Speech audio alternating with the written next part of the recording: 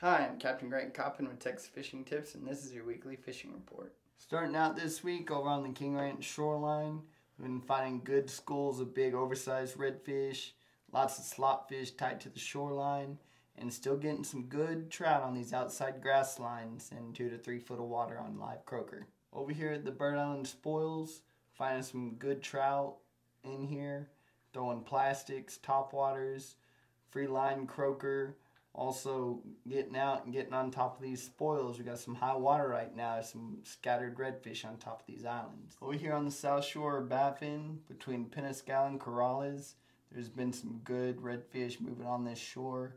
Lots of schools, about 30 to 50 fish in every school.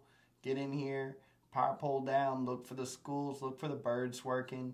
Get on this outside grass line here in about knee deep water. and drops off to about two foot along this this shore and you can find those redfish tailing up there shallow. Over here on the Kenedy shoreline, finding some good trout and reds mixed in the rocks.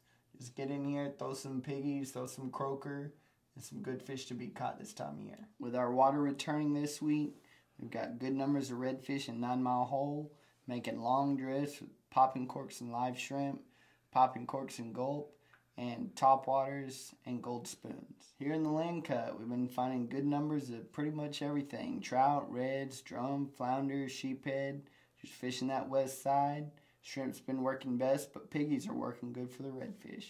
I'm Captain Grant Coppin. Thanks for watching.